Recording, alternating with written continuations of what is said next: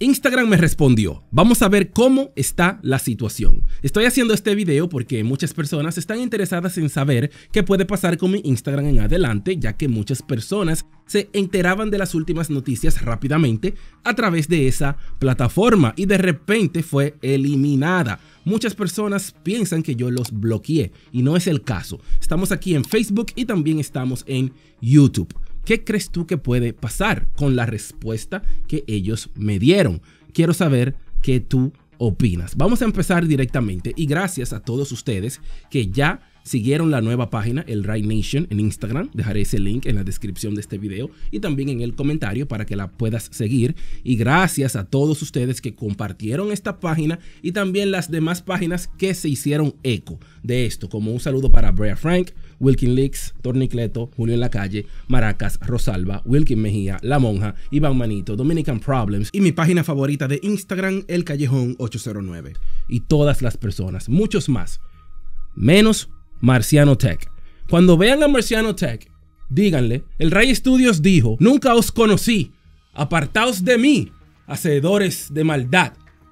No es cierto, Marciano Tech es mi hermano. Un saludo para Marciano Tech.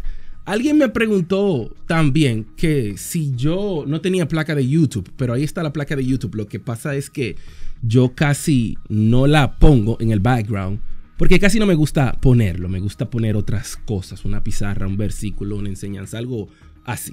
Y miren aquí, sobre la respuesta de Instagram, ya yo hice un video explicando que ellos me habían respondido lo siguiente. Vamos a retomar aquí para después ver lo que yo les dije y lo que ellos me dijeron. Ellos me dijeron anteriormente que como usuario yo estaba de acuerdo con los términos del uso que dicen que yo no debo compartir nada que viole los derechos de alguien o que viole la ley y que ellos tienen el derecho de terminar una cuenta por repetidas violaciones bajo las circunstancias apropiadas. Y yo después de eso, lo último que ustedes no saben, yo envié un email que dice, gracias por la respuesta. Entiendo que acepté los términos y condiciones del servicio y el uso y debo de seguir las reglas. ¿Qué significa su respuesta? ¿Es temporal o es una decisión permanente de deshabilitar mi cuenta? Espero que puedan revisar mi cuenta y ver que mi página es con motivos de informar educar y de ninguna manera se ha manejado de una forma que viole los derechos de ninguna persona, ni discrimine a ninguna persona y solo intenta ser parte de la comunidad siguiendo las reglas. Entiendo que seguir las reglas es muy importante para su plataforma y para mí también. Entre otras palabras, más cordiales, yo, por debajo, siguiendo la ley, sin exaltarme, sin decir nada malo, solo muy educado para entendernos con personas civilizadas. Ellos respondieron lo siguiente, y fue fuerte la respuesta. Mala. Como usuario de Facebook, aceptaste nuestros términos de servicio que establecen que los usuarios tienen prohibido realizar cualquier acción en Facebook que infrinja o viole los derechos de otra persona o que infrinja la ley. Cuando recibimos un reclamo adecuado de infracción de derechos de propiedad intelectual, eliminamos o inhabilitamos de inmediato el acceso a la publicación supuestamente infractora también cancelamos las cuentas de los infractores reincidentes en las circunstancias apropiadas.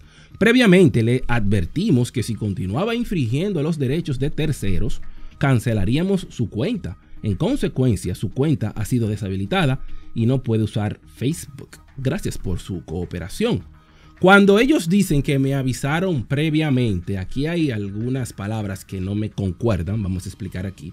Cuando ellos dicen que me avisaron previamente, es cuando ellos borran algún post de Instagram, ya sea algo por violencia, eso se entiende, o ya sea algo por bullying.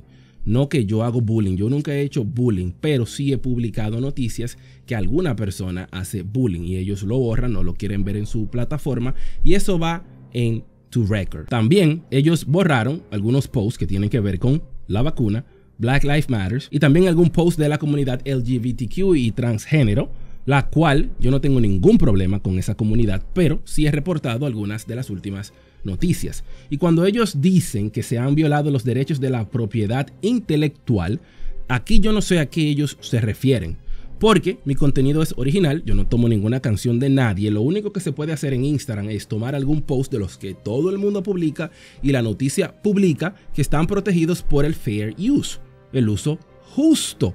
De esta razón es que las personas pueden ver todos los posts. Porque si censuraran a todo el que publique un post de la noticia que anda circulando, nadie viera ningún contenido y ningún video. Y el fair use, el uso justo, es un término legal y significa las disposiciones de uso justo de la ley de derecho de autor le permiten copiar y usar material protegido por derechos de autor para fines específicos, que incluyen críticas, comentarios, informes de noticias, enseñanzas, becas o investigación. Es lo que se hace aquí. Noticias, comentarios e investigación y también enseñanzas de cosas nuevas. Cuando hay un préstamo que yo digo cómo calificar, cómo aplicar, todo esto. O no es cierto. Todo eso está protegido por el fair use, el uso justo. Nada del otro mundo. Pero ellos también se enfocaron en decir Facebook en su email. Hasta dijeron, no estás permitido en Facebook. Pero yo no tengo ningún problema con Facebook. Yo publico en Facebook. Un saludo para los que me ven en Facebook.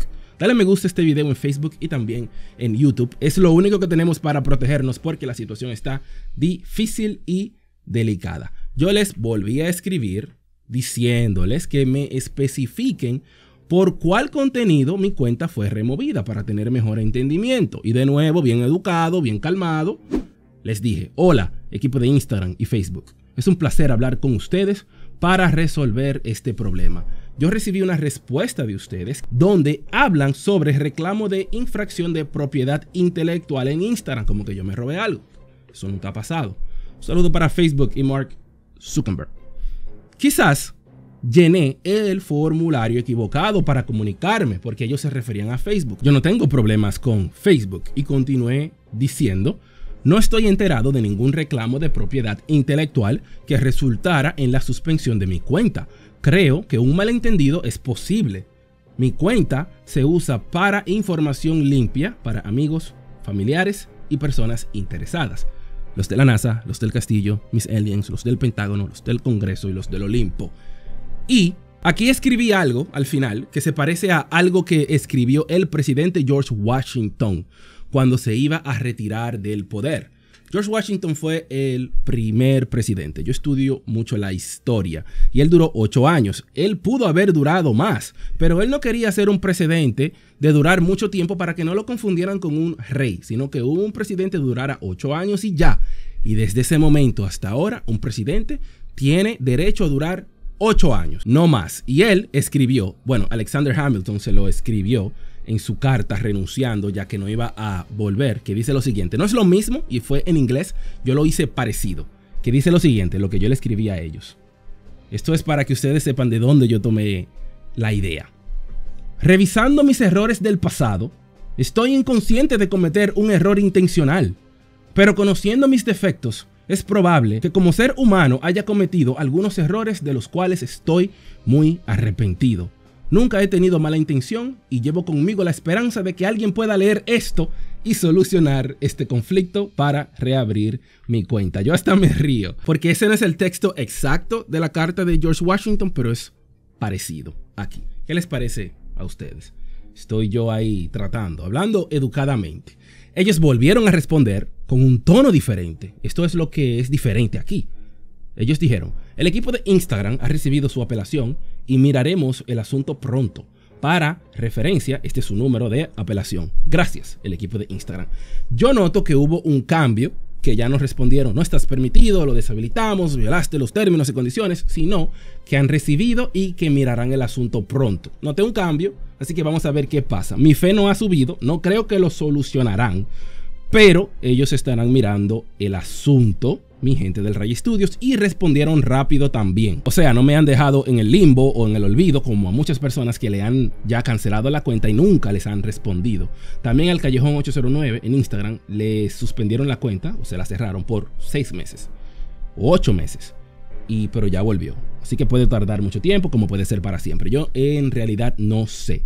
¿Cómo yo me siento? Que me han preguntado. Bueno, yo me siento bien porque tengo salud, los tengo a ustedes y tenemos todo lo necesario para seguir creando contenido. Que Dios nos dé salud a mí y a ti también. Te lo deseo. También mi mente analiza que uno tiene haciendo un trabajo por mucho tiempo. Mi Instagram se creó en el 2016 y que ellos lo borren en un día. La mente dice, like, wow, es injusto.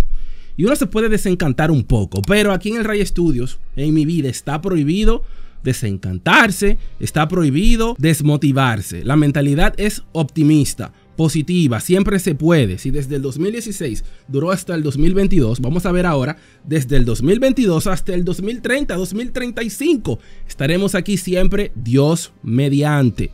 Así que seguimos, nunca os preocupéis. Tú y yo seguiremos hacia adelante siempre y cuando haya aire en nuestros pulmones. Un saludo para todos ustedes. Recuerda darle me gusta a este video. ¿Qué tú opinas sobre todo esto? Este es el Ray Studios.